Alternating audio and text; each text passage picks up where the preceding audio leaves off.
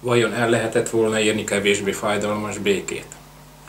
Sokkal jobbat véleményem szerint nem. Sőt, azt kell mondanom, hogy voltak olyan pillanatok, és ebben az időszakban, amikor még rosszabb irányba is elmozdulhattak volna az események.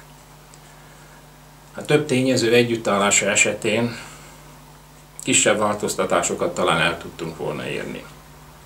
Károlyi Mihály nem helyezkedik a teljesítési politika alapjaira, tehát minden antant igényt kielégíteni, ha nem szereljük le a hadsereget, ha nincs tanácsköztársaság, és ezért korábban elmondhatjuk álláspontunkat a békével kapcsolatban, talán meg lehetett volna menteni a csalók közt és a felvidék déli részét, a Barta Hodzsa egyezmény alapján, amely nemzetiségi alapokat vett alapul.